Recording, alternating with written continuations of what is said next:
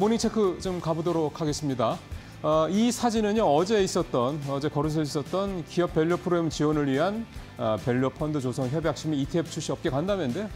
어, 예고됐던 대로 value-up ETF 상품이 어, 이번 달 그러니까 다음 주죠 어, 11월 4일 날 상장이 됩니다. 어, 상장하는 회, 어, 종목들 상황을 좀 살펴보겠습니다. 다음 표로 좀 가보면요.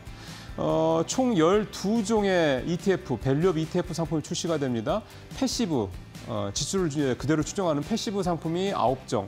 그 다음에 어, 펀드 매니저가 어, 지수 추종을 하긴 하지만 펀드 매니저가 조금 더 적극적으로 개입을 하는 이 active형 상품이 이 세 개의 종목이 상, 어, 상장을 하고 그 다음에 이제 ETN 어, 상품도 어, 삼성증권에서 한 종이 이제 상장이 됩니다. 그래서 총 어, 밸류업 관련돼서 12개의 ETF와 1개 ETN 등 13개의 종목이 상장이 좀 되는데요. 어, 총 상장 규모가 한 5천억 정도 조금 넘습니다. 이 정도를 일단 시작을 하고. 근데 이거는 이제 어, 이게 그 처음 시작하는 출발 단계인 거고 이제 여기에 이제 투자자들께서 투자를 하게 되면 이 규모는 이제 앞으로 뭐 훨씬 더 어, 커질 수 있다 이렇게 좀 보면 되는 거고요. 어, 상품 설명을 조금 더 드리면요. 패시브형 상품 아홉 종 간단하게 설명을 드리는데 아홉 종 다 설명을 드릴 필요는 없을 것 같고 어, 대표적인 세계 회사 거 가장 큰 어, 세 개 회사 걸 보면 신탁 원본 기준으로 봤을 때 미래에셋이 제일 크고 그다음에 삼성자산운용 이렇게 되는데요. 어, 이게 이제 아홉 개 passive형 상품이 또 똑같은 이 밸류업 지수를 추종을 하다 보니까 결국은 이제 가장 수수료가 저렴한 상품, 그 다음에 가장 일단 덩치가 큰 상품을 중심으로 이제 아무래도 어, 투자자들께서 관심을 가질 것 같습니다. 그런 상품이 이제 미래에셋이나 삼성자산운용 쪽이 될 것 같은데 중요한 건 이제 미래에셋자산운용의 수탁 수수료가 아, 0.008% 가장 낮죠. 그 다음에 이제 어, 삼성자산운용 그보다 좀 높고요. KB자산운용도 0.08%로 좀 어, 같긴 한데 규모가 좀 작은 편이고 10분의 1밖에 안 되니까 이런 부분들 좀 감안하시면서 투자에 참고를 하시면 될 것 같고요. 그 다음에 어, active형도 한번 볼까요?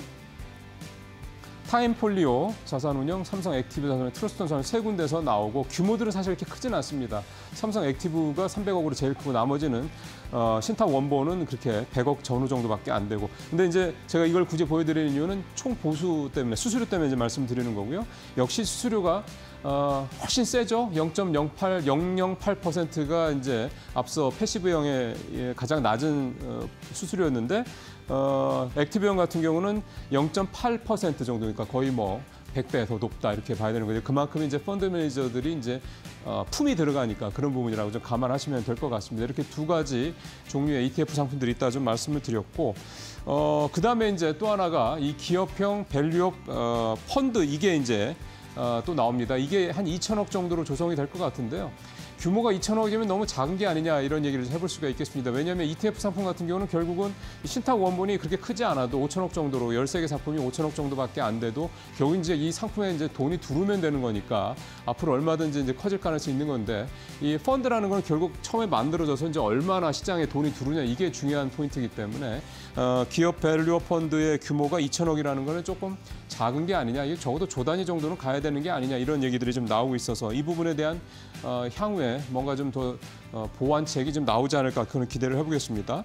자 이제 관건은 역시 어, 이런 밸류업 정책이 어, 이런 value-up ETF 상품, 이런 밸류업 프로그램들이 이제 진짜 성과를 낼 것이냐 여부인데 시장에서는 어, 긍정론, 부정론 역시 다 나옵니다. 긍정론은 특히 퇴직연금 쪽으로 굉장히 적절한 상품이 될 거다 이런 얘기도 좀 나오고 있고요. 아, 반면에 부정론은 에, 기존의 밸류업 지수 자체가 워낙 여전히 논란이 있기 때문에 아, 그닥 큰 기대를 하지 않는다라는 얘기도 있고 밸류업 지수에 편입된 종목들 상당수가 그동안 많이 올랐기 때문에 아, 더 올라가는 게 좀 부담스럽다 이렇게 얘기하는 분도 계십니다. 따지고 보면 또 역으로 생각하면 밸류업 지수에 대한 기대감 시장에서 분명히 있다라는 얘기도 좀 될 수 있다라는 거 이 부분도 좀 감안할 필요가 있겠고요. 이제 좀 결론을 이제 내 보면은요. 이제 차트 하나 볼 게 있습니다. 자, 지금 제가 보여드리는 이 차트는 1950년부터 2016년까지 S&P 500, 70년간 S&P 500 지수의 흐름입니다. 이 바닥 쭉 가다가 이제 90년대 중반부터 지금 급등해서 계속 올라가는 모습이 나타나고 있죠. 그 다음 차트도 한번 더 보겠습니다. 역시 마찬가지 S&P 500인데요. 2016, 2010년대 초반부터 이제 지금까지 S&P 500의 모습입니다. 역시 계속해서 우상향을 하고 있는 모습이 나타납니다. 그러니까 S&P 500 지수를 제가 보여드리는 이유는 딴건 아니고요. 결국 이제 S&P 500이라는 걸 잘 아시는 것처럼 미국의 주요 500대 기업을 가지고 이제 어, 지수를 만든 거 아니겠습니까? 저렇게 지난 70년간 그다음에 최근 20년간 계속해서 우상향하는 모습이 나타나고 지금도 뭐 계속 좋죠. 얼마 전까지도 연중 최고치 또는 뭐 사상 최고치 계속 병신하는 모습을 보였으니까요. 어찌 보면 이런 어떤 지수의 흐름이 결국 이제 장기 투자에 대한 믿음이 반영이 돼 있는 거고 이런 지수의 흐름이 계속 나타나는 게 있을 때 이제 우리도 마음을 좀 놓고 편안한 마음으로 시장에 투자를 할 수 있게 된다는 겁니다. 결국 이 그림이 바로 이제 향후에 10년, 20년, 30년 뒤에 우리 밸류업 지수가 가야 될 길이다라는 생각이 들고 이, 들어서 이 S&P 지수를 좀 말씀을 좀 드리는 거고요. 여러 가지 우여곡절도 있고 시간도 걸릴 겁니다만 결국은 우리 밸류업 지수도 한국 시장도 결국 이렇게 가주기를 좀 기대를 해보겠습니다. morning 체크 마치겠습니다.